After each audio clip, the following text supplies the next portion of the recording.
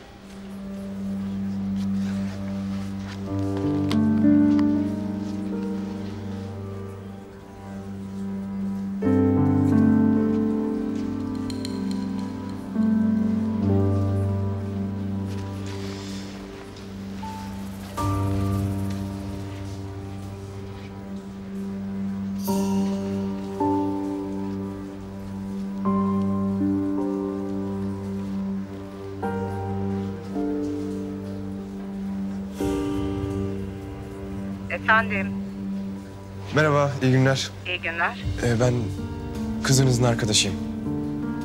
Kızım mı? Nalan.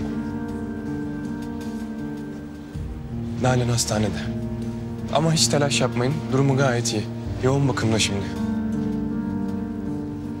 Gelseniz iyi olur. Nalan deme bana. Kaç senedir konuşmuyorum zaten.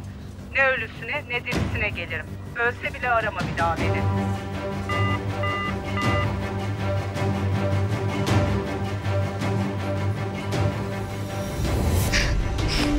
Annemle konuştum yine. Yine çok kötü.